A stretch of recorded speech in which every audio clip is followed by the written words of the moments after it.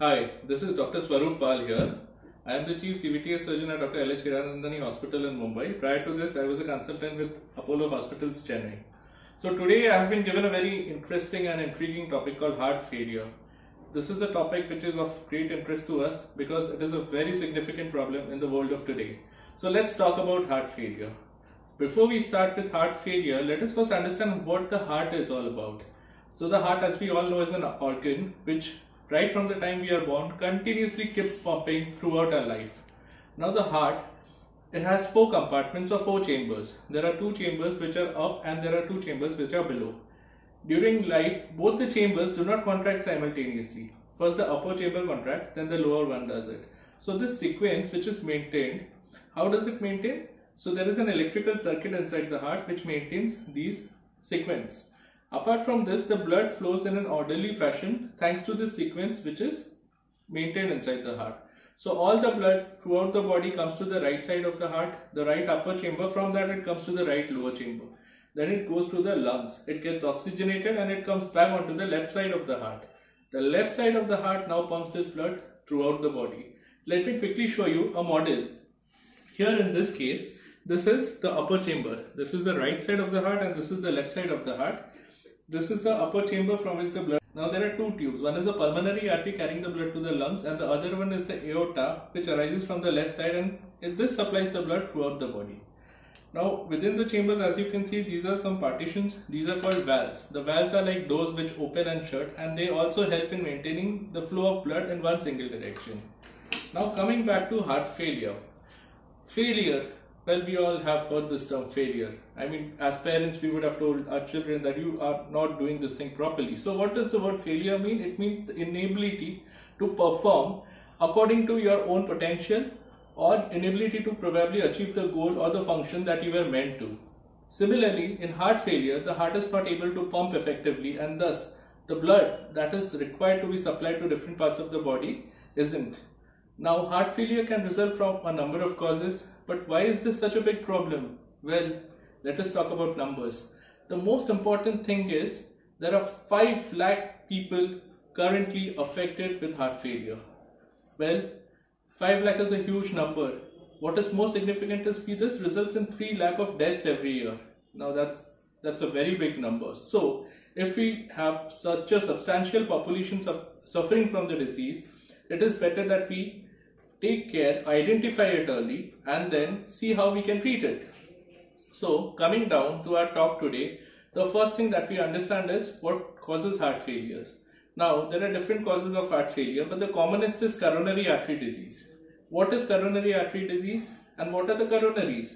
Well, the coronaries are the blood vessels that supply blood to the heart. The heart has to work continuously 24 by 7. It also needs nutrients. Where does it come from? The coronaries.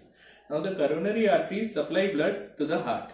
Now these blood vessels with time can also develop blockages as we see here. This is a normal coronary artery.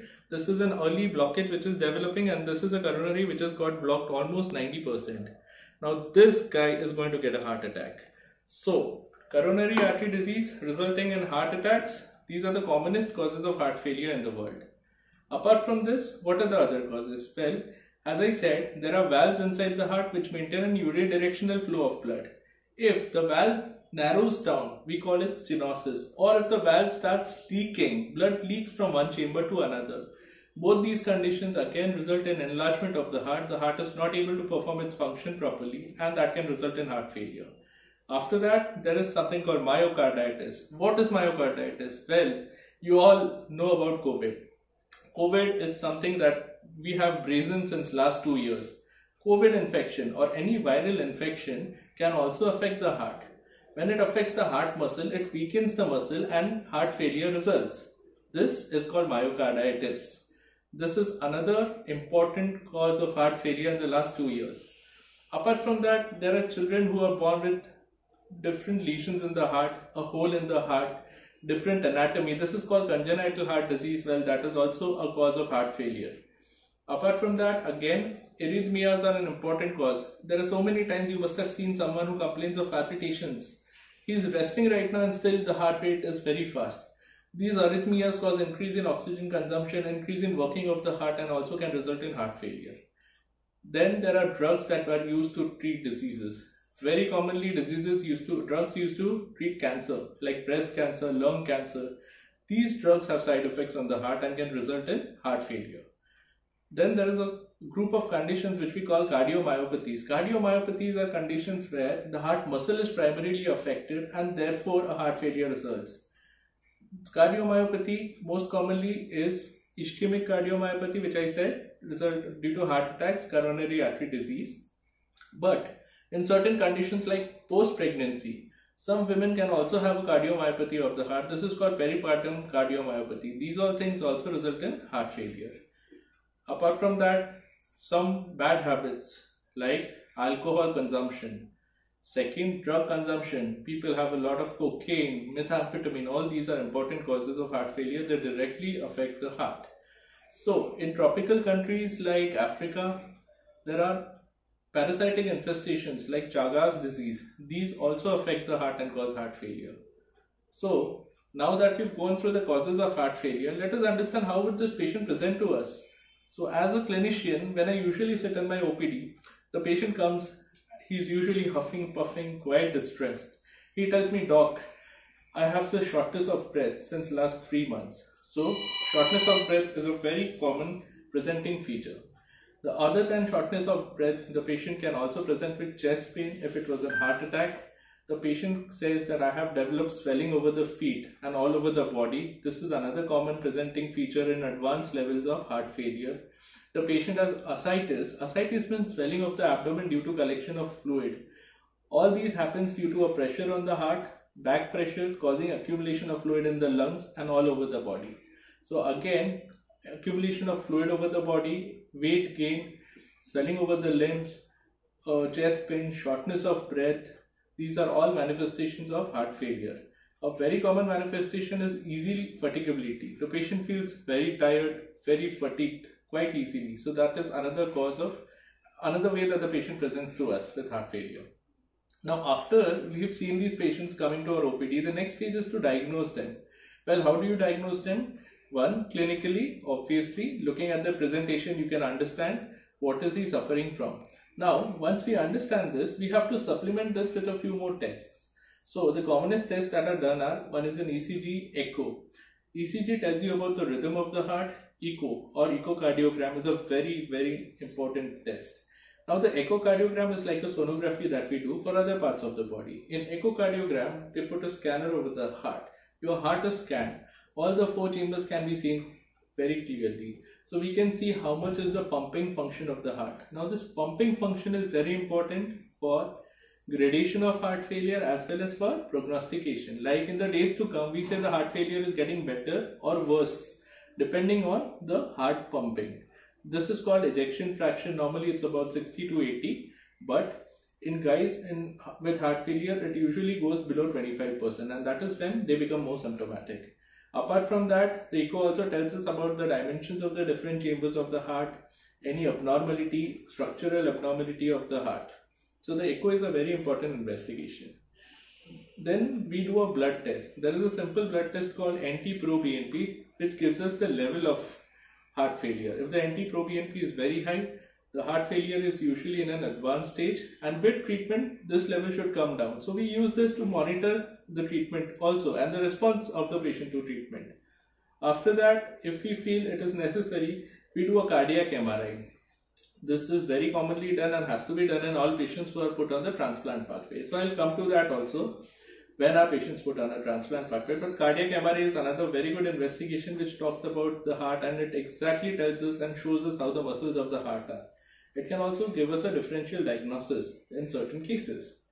Now coming back to heart failure, now how would this be treated? So doctor, I have seen how a patient presents to me. What? How do I diagnose it? Next comes treatment.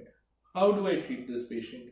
Well, First line of management is always medical management. So we put him on certain drugs which improve the contractility of the heart, decrease the amount of fluid which is retained by the body. These are called diuretics.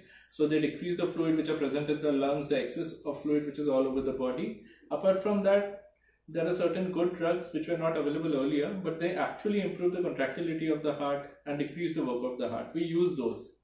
Now, next is treatment of the cause. Suppose if heart failure was the result of a heart blockage, then we either do an angioplasty or we do a bypass surgery and we treat that. Apart from that, if it was because of a valve problem, then we either repair or replace the valve.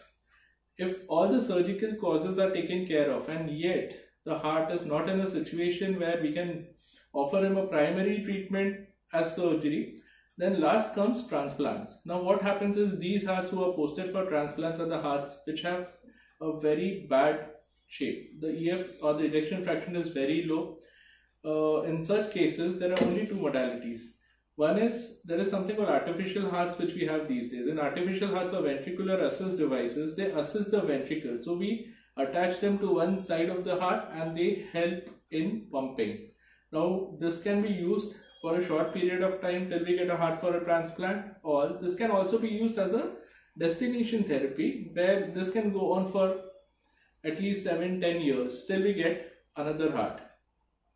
Now in transplant what is done is uh, once a patient has no other treatment modality left and he's put on the transplant pathway, we have to do certain investigations. We have to see his blood group and then we have to list him. Once a patient is listed, we have to wait till we get a heart of the same blood group. Once we get a heart of the same blood group, we do certain antibody titers and then if we feel that yes, this is a fit, then the heart from that person is harvested and then we get it and then we insert it inside the recipient. Now the interesting thing about transplants as you would probably see in the next video is it has to be done very fast. We just have 4 hours to take out the heart and put it inside. But once you are given a new heart, obviously there is something called immunosuppression uh, to take care of and after that the heart behaves like a normal heart. People with a transplanted heart do have a lifespan of more than 10 years. So that is something which was a very great boon for all these patients. So that is how the heart failure spectrum works. So starting from a simple medical line of therapy to specific particular surgery uh, depending on the disease concerned and the last part being transplants. So i hope in short you guys have understood and let's hope that this helped you in some way. Thank you.